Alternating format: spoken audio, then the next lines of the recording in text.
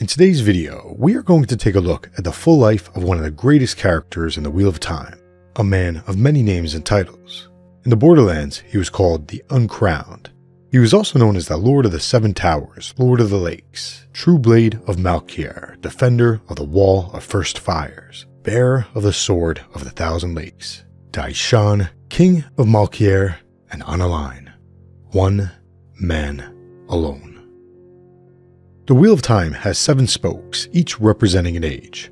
Lan was born in 953 NE, which is the 953rd year of the New Era, which takes place at the very end of the Third Age.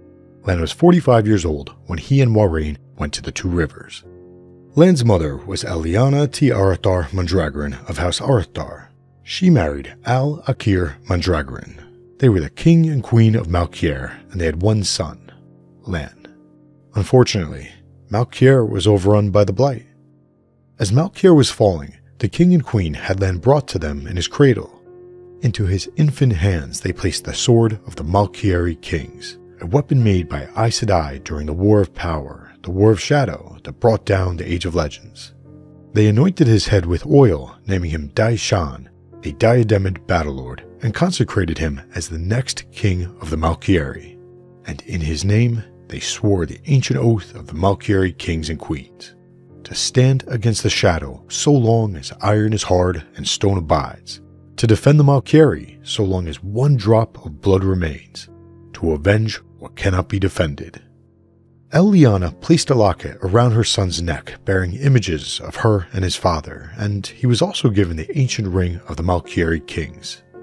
Twenty of the best swordsmen were chosen from the king's bodyguard and given the command to carry the child to Fal Moran, Shienar.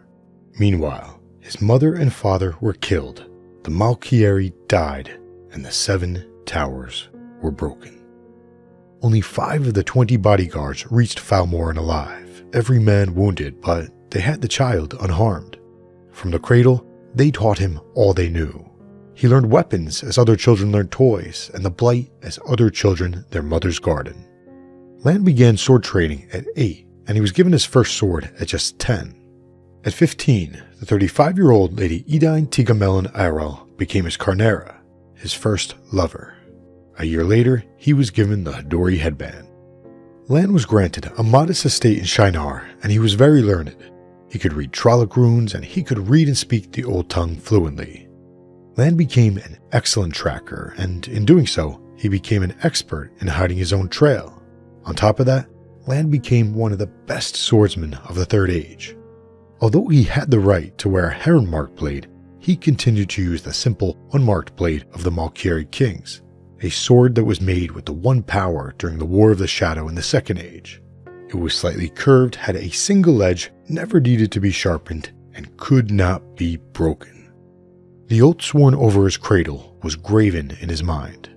There was nothing left to defend, but he could avenge. Lan denied his titles, yet in the Borderlands he was called the Uncrowned, and if he ever raised the golden crane of Malkier, an army would come to follow. But he would not lead men to their deaths. In the Blight, Lan courted death as a suitor courts a maiden, but he would not lead others to it. By his mid 20s, only one of the 20 men who had carried Lan to safety was still alive Bukama. Lan and Bukama fought for the Great Coalition in the Aiel War. The final battle is formally known as the Battle of the Shining Walls, but it had many other names. Some of those who fought in that battle called it the Blood Snow. Lan led almost 500 men during that battle. At the end of the war, he was confronted and outnumbered by an Aiel army on their way home, but they didn't fight. The Aiel raised their spears and lowered them as one. Then the Aiel shouted out a single word on a line. The best translation of the old tongue that Lan could come up with was one man alone. With the war done, Lan felt the pull of home sharply. Nothing remained to be defended, only a nation to avenge, and he had trained to that from his first step. With his mother's gift at his throat and his father's sword in his hand, with the ring branded on his heart. He had fought from his 16th name day to avenge Malkier, but he had never led men into the Blight. Bukama had ridden with him and others, but he would not lead men there. that war was his alone. All he wanted was a return to the Blight and no encounters with Aes Sedai. But then he met Moiraine. The very first time that they met, Moiraine tried to sneak up on Lan and steal his sword, but he was too quick and he threw her into a pond. That night, she threw half of the pond on him.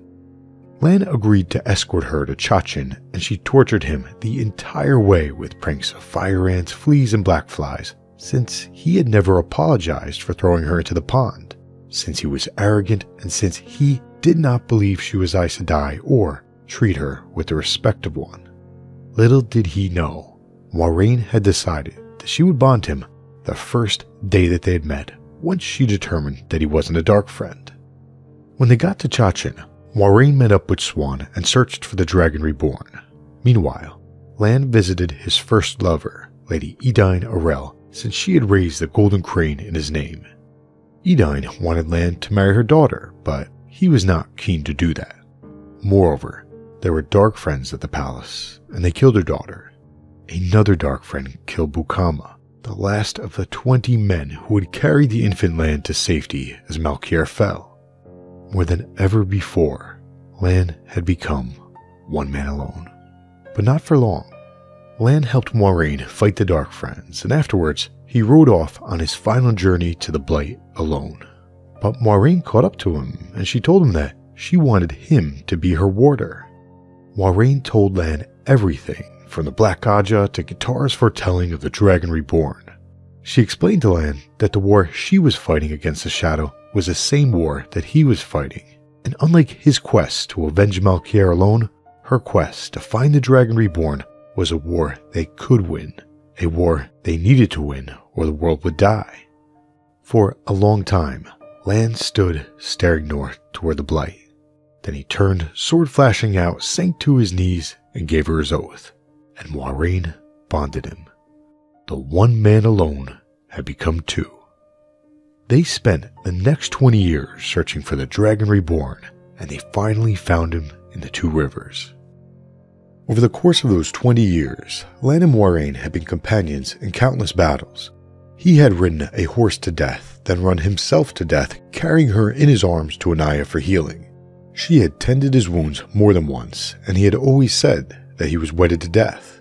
But then he met Nynaeve, and a new bride captured his eyes and Moiraine wondered if he would still court death so blithely.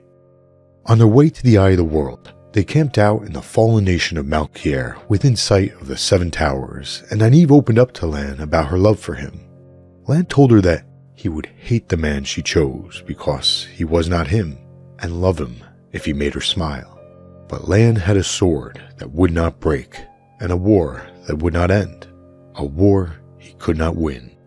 He told her that no woman deserved the sure knowledge of widow's black as a bride price, Nynaeve least of all. Without trying, without even thinking of what she was doing, Nynaeve had put cracks in Lan's walls and seeded those cracks with creepers. Slowly, the creepers had begun to tear down the walls to bear the man within. It all came to a head at the Eye of the World, where they were confronted by two of the Forsaken, and Lan was torn between who to protect Moiraine or Nynaeve. Afterwards, Lan gave Nynaeve his signet ring, the ring of the Malkieri kings. He told her that if she showed it to any lord in the borderlands, she would have guest right and help if she needed it. If she showed it to a warder, he would give her aid or carry a message to Lan. Lan said to send the ring to him or a message marked with it, and he would come to her without delay and without fail. Then he told her that he must go and named her Nynaeve Mashiara, a word that meant beloved of heart and soul, but also a love lost, lost beyond regaining. At Tifan's Wells, Moiraine told Lan that she had arranged for his bond to pass to Myrelle Sedai should anything happen to her. She didn't want him to be surprised, so she warned him that if she were to die, he would feel compelled to seek out Myrelle immediately Lan did not appreciate being treated like a pet lapdog that could be passed around. In fact, he got angry at Moiraine for the first time since their bond. But Moiraine had her reasons. Moiraine feared that if she were to die, not even her strongest command would stop him from dying in a useless attempt to avenge her. she also did not want him to return to what she considered his equally useless private war in the Blight. So that is why she made plans for his bond to transfer to Myrelle, but that's not where her plans ended. Myrelle had promised to pass the bond to another woman once she found one who suited him better. Over the coming year, Lan and Nynaeve reunited for periods of time at Falme and Tear, but they spent more time apart as Lan remained by Moiraine's side. When Lan found out that Nynaeve was secretly planning to go to the dangerous city of Tanchico, he was torn between his love for her and his bond to Moiraine. He told Nynaeve that if she were to die, he would not survive long, and he offered to go there with her and protect her. But Nynaeve couldn't have that.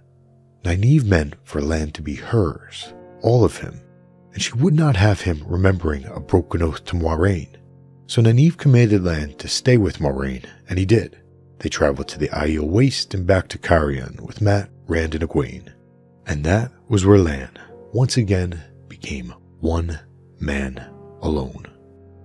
Moiraine hurled herself at Lanfear, and they were both swallowed up by the doorframe ter'angreal. Lan began to move forward, so Rand channeled and caught Lan in a weave of air, preventing him from following her. Sadly, Lan could no longer feel Moiraine's presence. Lan told Rand that he and Moiraine could have died 200 times over the past 20 years, that she had known it, and so had he, that it had been a good day to die. When he said that, his voice was as hard as it had ever been, but his cold blue eyes were red rimmed. Rand asked Lan to stay because he valued Lan's counsel and sword training, but Lan told him what Moiraine had done, that he was now bonded to Myrelle and had to go find her. Before he left, he asked Rand to do him a favor. For an instant, his stone face crumpled in anguish. Then it was granted again, and he told Rand to tell Nynaeve that he'd gone to be a Green Sister's lover as well as her sword. He also advised Rand that if he ever loved a woman, to leave her and let her find another, that that would be the best gift he could give her. Peace favor your sword, he said, Tai'shar Manetheren, and he rode off. Lan had a long journey ahead of him. He rode across Cairhien, Andor, Murandy, and Altara, focused on Myrelle like an arrow speeding to the target, carving his way through any armed man who stood in his path. But even he could not do that unharmed, so he sustained a number of injuries along the way. When he finally got to her, Myrelle stared up into his cold blue eyes, and she saw death. The light helper, she thought. How was she ever to keep him alive? In their first two weeks together, Myrelle and Lan slept together. Myrelle was of the Green Ajah, and she had three other warders. Two of them had belonged to other sisters who had died, and that is one of the reasons why Moiraine had chosen her, because Myrelle had a proven ability twice over of preventing warders from dying. When Egwene found out that Myrelle was hiding Lan, Myrelle claimed that she would pass the bond over to Nynaeve as soon as he was safe and as soon as Nynaeve was ready, but it was clear to Egwene that Lan was not okay, so she came up with another plan. Egwene told Lan that Nynaeve was in need of a warder. That she was in the dangerous city of Ebou Dar, searching for something that they needed desperately. That the Black Ajah and Forsaken would kill her if they found out. Egwene saw the pain in his eyes, and that gave her the confirmation that she had hoped for. Egwene told Lan that she was sending him to Nynaeve to act as her warder. Lan did not hesitate to saddle his horse. Egwene used skimming to drop him off around five or six days out from Ebou Dar. Meanwhile, Moghedien nearly killed Nynaeve while she was visiting the Atha'an Miere Mistress of Ships. As the boat sank, Nynaeve did something she had never done before. She fully surrendered to saidar and finally broke her block. To her surprise, Lan swam down and rescued her. When they got back onto his boat, Nynaeve was furious when she found out that he was bonded to Myrelle. She told him that Myrelle was going to give her his bond, that they would be married that very day, and that she would not let him die. Lan remained by Nynaeve's side as they searched for, found, and used the Bowl the Winds, but that attracted the attention of the Seanchan, so they fled through a gateway to Caemlyn. When Rand snuck into the palace to tell Nynaeve about his idea of cleansing saidin, he pointed out that Lan had not taken his own advice about staying away from the women they loved. Then things got tense. Lan was concerned about Rand's plan, asking him why they wouldn't have cleansed Saidin in the Age of Legends if it could be done, and he warned Rand that he could get Nynaeve hurt in a tone that made it clear he would not allow that.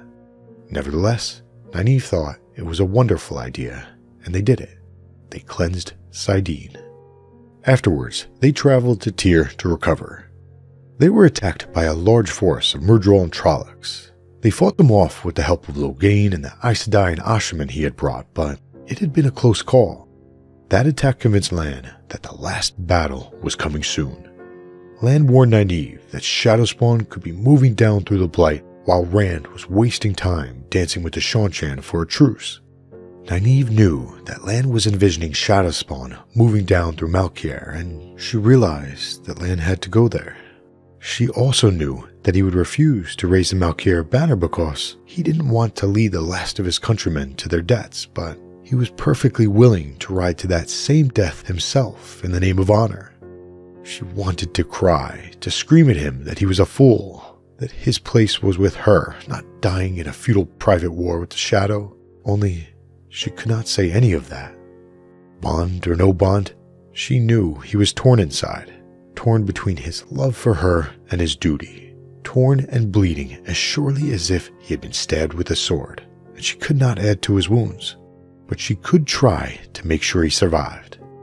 Nynaeve told Lan that she would take him to the borderlands via a gateway if he promised to go to Fal Moran before he entered the Blight. That if anyone wanted to ride with him, he let them. Lan realized that her goal was to drop him off and then gateway ahead of him in hopes of recruiting other men to his side, and he was right, but he underestimated her. Lan asked Nynaeve how far south in Shienar she was going to leave him, but she didn't answer. Nynaeve could have lied since she hadn't taken the three oaths of the Aes Sedai, but Egwene wanted her to behave as though she had.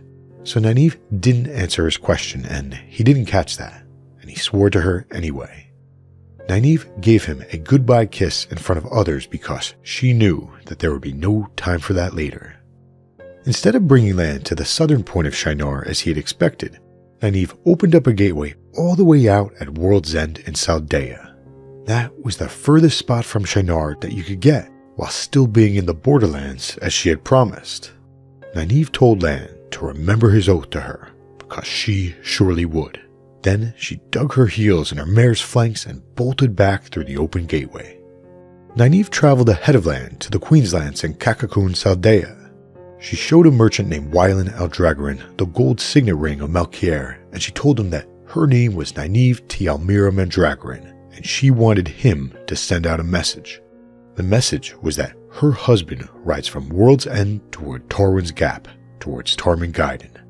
Would he ride alone?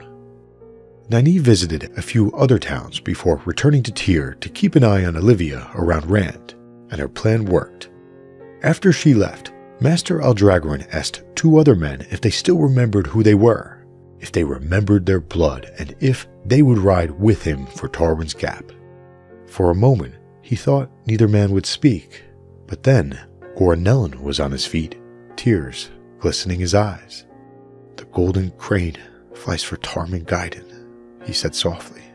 The golden crane flies for Tarmon Gai'don, Madigan shouted, leaping up so fast he overturned his chair.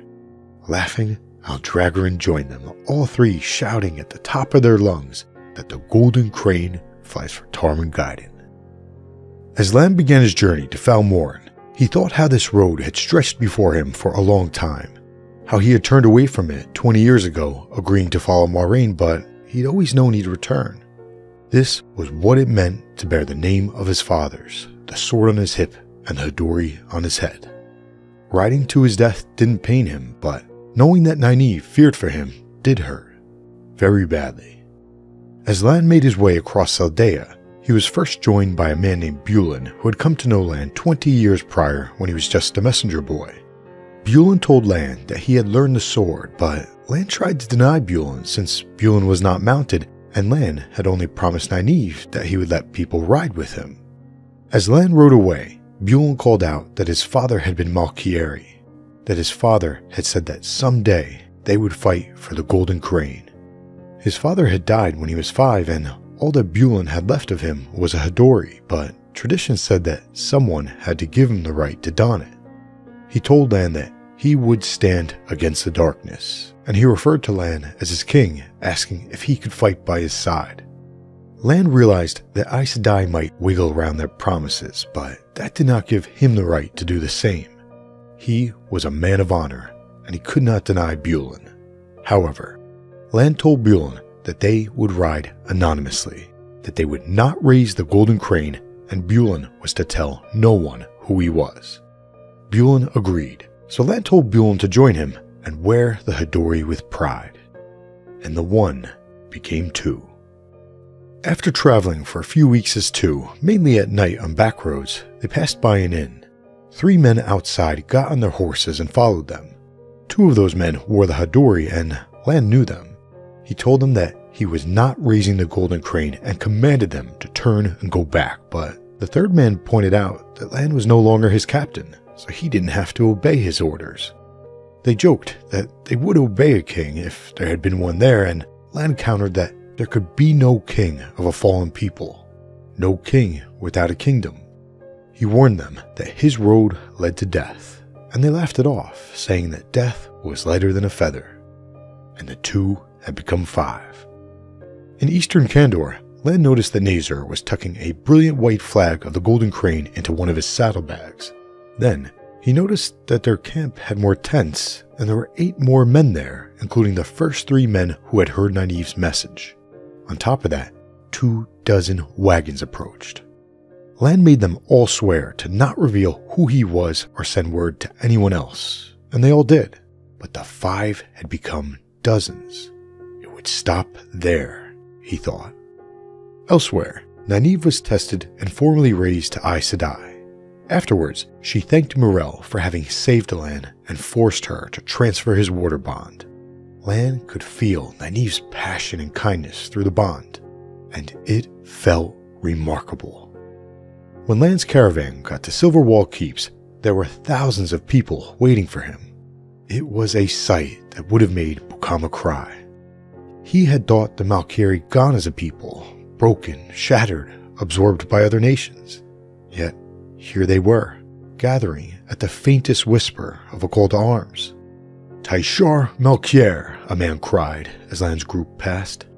The call went up a dozen, two dozen times as they saw his Hadori.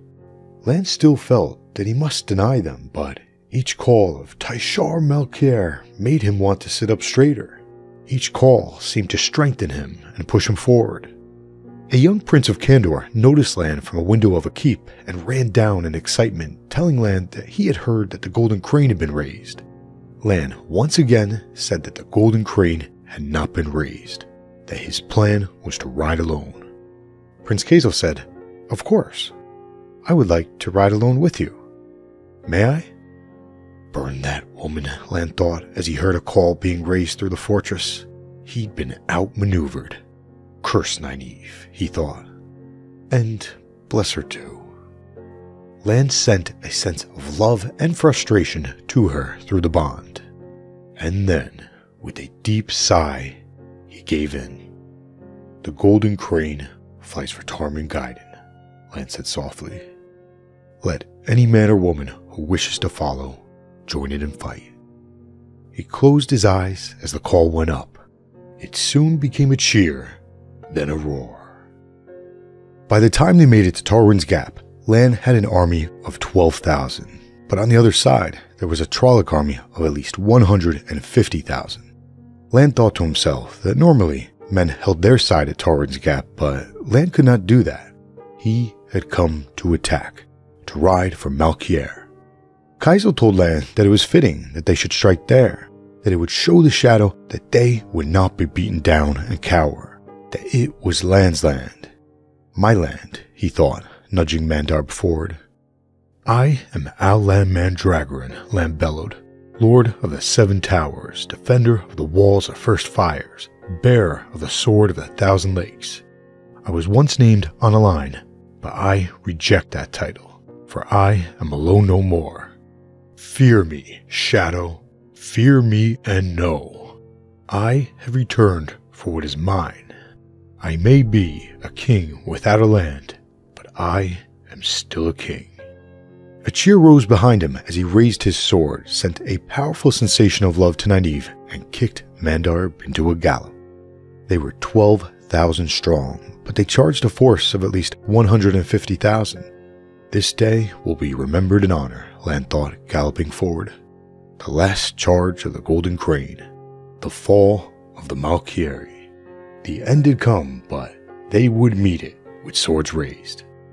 Lan's forces seized the gap with their initial charge, but over time, they lost half their forces, so Lan organized a retreat. His plan was to regroup and attack one last time as the Trollocs passed through the gap. Lan did not expect to survive. He merely wanted to deliver as much damage as possible to the Shadow with one last charge on the open plain. Lan tried to project confidence to Nynaeve in case he reached her. Pride in his men, love for her. He wished deeply for those to be the last things she remembered of him. As Lan sounded the attack, a dozen gateways opened and charging horsemen burst forth with lances leveled. In seconds, his charge of 6,000 had become a 100,000, including Asha'man. Lan saw a last stand that he never thought he could win become a promising fight, and he couldn't help himself. He didn't just smile, he laughed. They raised the banner high, and Malkier lived another day. Elayne sent Lord Agelmar and the other Borderland monarchs to help Lan hold the gap as long as possible, and all of the Borderland monarchs agreed to fight beneath the banner of Malkier. Lan's army held the Trollocs back with two days of grueling battle. Unfortunately, Bulen died. Bulen had been the first Malkieri to return to Malkier's king, so Lan asked Narishma to open a gateway and bring Bulen someplace cold so that they could find a proper resting place for him when the war was done and Malkier was reclaimed. Lan thanked Bulen for having not given up on him, then took Bulen's Hadori and wrapped it around the hilt of his sword so that Bulen could continue to fight. The Trollocs were joined by as many as two dozen dreadlords, so Lan finally agreed with Agelmar that they should abandon Malkier. Admitting it felt like a knife twisting inside him, but he would do it. The gap was lost. Lan's army burned fields and cities as they retreated south.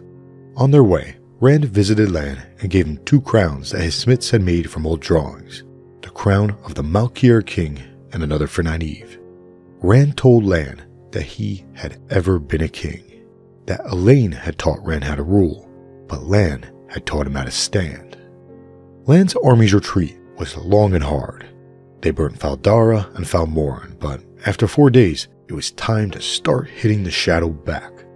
With the help of some reinforcement channelers, they hit the Trollocs hard. Lan thought how the Shadow had taken Malkier from him twice now, how the Shadow would never be able to taste his sense of defeat, his sense of loss at leaving his homeland again, this time by choice.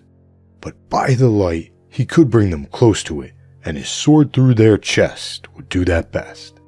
During that fight, Lan defeated two Myrddraal at once. Every evening, it became a tradition for Lan's men to toast the fallen. One night, Lan spoke to his horse, Mandarb. Lan told Mandarb that they would rest soon, that they'd reclaim Malkier and make a home once the shadow was defeated, that Mandarb would have children to ride on his back, that he could spend his days in peace, eating apples and having his pick of mares. It had been a very long time since Lan had thought of the future with anything resembling hope. Strange to find it now, in this place, in this war. He was a hard man. At times, he felt he had more in common with rocks and the sand than he did with the men who laughed together beside the fire. That was what he'd made of himself. It was the person he needed to be, a person who could someday journey toward Malkier and uphold the honor of his family. Rand Thor had begun to crack that shell, and Nynaeve's love had ripped it apart completely. Lord Baldhere warned Lan that Agelmar had been making mistakes, and Lan eventually concluded that Agelmar had been under compulsion. Unfortunately, the Borderlanders were crushed due to Agelmar's mistakes, and two thirds of their numbers were killed. And they were not the only ones. Graendal had been manipulating the great captains on the other three battlefronts as well. Elayne sent Logain and his Asha'man to help Lan's Borderlanders escape, and three of the four forces of light regrouped at the Field of Merrilor for one last stand, with Mat in control, since his medallion assured that he could not be compelled. They had been bloodied, but not beaten. Knock a man down, and you saw what he was made of. That man might run, but if he didn't, if he stood back up with blood at the corner of his mouth and determination in his eyes, then you knew that man was about to become truly dangerous. At the field of Merrilor, the forces of light fought hard and they fought well. Many brave and selfless acts were done. There were many heroes, but it was not enough to defeat Demandred's forces. When Arganda told Lan that they were doomed, Lan said, If so, we stand atop the high ground and we fight until we die, Kil'jaeden. You surrender when you're dead. Many a man has been given less. Lan prepared for the Shadow's final charge and warned that the next assault would be the worst one, and Demandred cried out that this is the end. But Mat hadn't given up, and Tuon was prepared to return on Mat's mark. Mat sent Lan to see if there were any healed soldiers in Mayene who would be able to return to battle, and while he was there, Berelain gave him Galad's medallion. As the Trollocs regrouped to attack, Mat wondered if Lan had come back yet, and then he saw him a lone horseman on a black stallion charging into the right flank of the Trolloc horde toward Demandred. Lan had gone to fight a war on his own. Tam al'Thor saw Lan charging and yelled out to his two rivers men to prepare to fire. They lit their arrows and sent them flying, a little something to guide Lan's way. Lan did not consider what he was doing. The void did not allow such things. Some men would call it brash, foolhardy, suicidal, but the world was rarely changed by men who were unwilling to try being at least one of the three. He sent what comfort he could to distant Nynaeve through the bond, then prepared to fight. As he approached the Trolloc line, an arrow took out the Trolloc right in front of him. Then another and another, as an entire rain of burning arrows dropped in front of him. Malkier, he yelled as the Trollocs in front of him dropped and dropped until there were no more. Thank you, Tam, he thought. Since Berelain had given Lan the medallion, he was protected from channeling, but his horse Mandar was not. So Lan threw himself from the saddle, hit the ground at a run, and charged Demandred. Throughout the battle, Demandred had been determined to fight Lews Therin, but instead he had fought Gawyn and Galad. As Lan approached, he began to complain to Lews Therin, but he never got a chance to finish his sentence because Lan came in swinging. They exchanged three quick blows, and the last one caught Demandred on the cheek. Who are you? Demandred asked. I am the man who will kill you. As Demandred launched stones at Lan, he continued to attack, and Demandred was surprised by how good Lan was. Once again, he asked, Who are you? I am just a man, Lan whispered. That is all I have ever been. Lan had been fighting for an entire day, so he was tired and injured, whereas Demandred was still fresh. As good as Lan was, he knew that Demandred was better. Demandred began to press forward, cutting Lan multiple times, but Lan thought back to the final lesson that he had taught Rand back at Fal Dara, the lesson of sheathing the sword. Lan had explained to Rand that there would come a time when you must achieve a goal at all cost and the only way to achieve that goal would be to allow the sword to be sheathed in your own body. Rand had begun to counter that that was crazy, but Lan cut him off, saying, You'll know when it comes, sheep herder. When the price is worth the gain and there is no other choice left to you. That is called sheathing the sword. Remember it. Rand had thought about sheathing the sword during his fight with High Lord Turak, but the time hadn't been right, since Rand had seen Egwene wearing a collar right before the fight, and if he died, he couldn't help her. So Rand put aside the thought of sheathing the sword and finished Turak with an aggressive attack. When he went outside, Ingtar confessed that he had been a dark friend. He then offered to sacrifice his own life to allow Rand and his friends to escape, and when Rand tried to protest, Ingtar told Rand that it was every man's right to choose when to sheathe the sword. Not long after, Rand fought Ba'alzamon and defeated him by choosing to sheathe the sword. As he fought Demandred, Lan realized that the time had come for him to do the same. Demandred confidently told Lan that he could not win, to which Lan whispered, You didn't listen to me. As Demandred struck, Lan saw his opening and lunged forward, placing Demandred's sword point against his own side and ramming himself forward onto it. I did not come here to win, Lan whispered, smiling. I came here to kill you. Death is lighter than a feather. Demandred's eyes opened wide, and he tried to pull back, but it was too late. Lan's sword took him straight through the throat. The world grew dark as Lan slipped backward off the sword.